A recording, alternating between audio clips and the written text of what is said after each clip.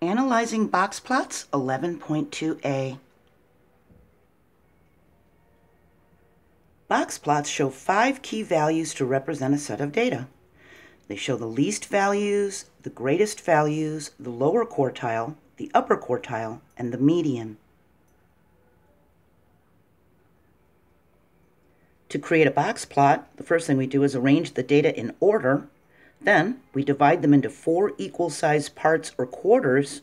And at last, we draw the box and whiskers. So here we have the box, and here we have whiskers on the side. A quartile consists of three values, one of which is the median. And the first quartile is the median of the lower half of the data set. It's also called the lower quartile. The third quartile is the median of the upper half of the data set. It's also called the upper quartile.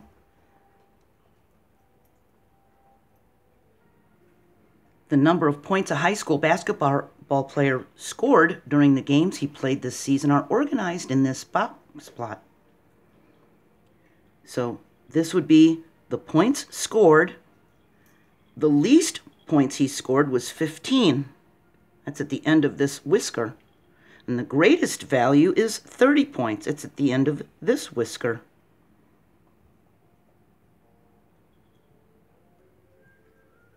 This is the same box plot. The median is 21 points.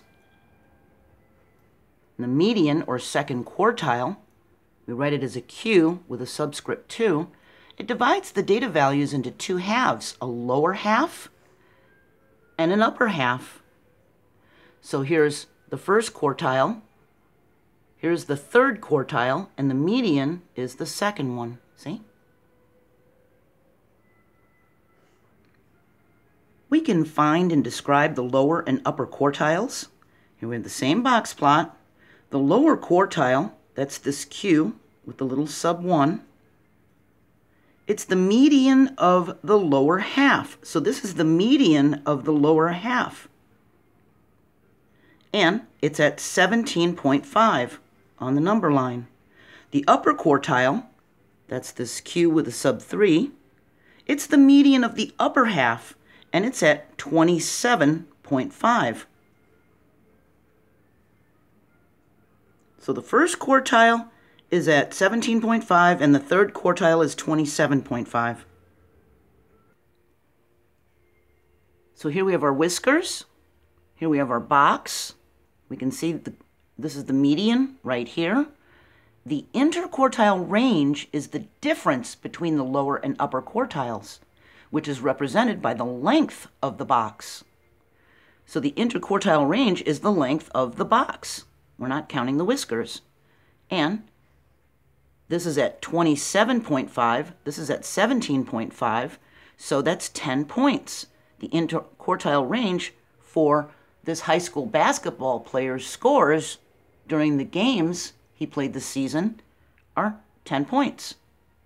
And the length of the whiskers are about the same, which means that both quarters of the data have about the same range. So remember, the first quartile is the median of the lower half of the data set. And the third quartile is the median of the upper half of the data set. So one side of this particular box plot is wider than the other side because the quarter of data on the right side of this median is more spread out than the quarter of the data to the left side of the median.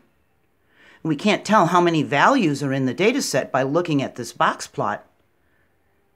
But we know the lowest, the greatest, and the median, and the shape of the box plot is used to visualize whether the data values are evenly distributed or grouped on one side of the median.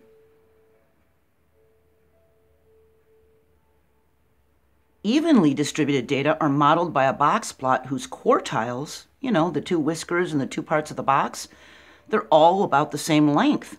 So these are all about the same length. So this data is evenly distributed.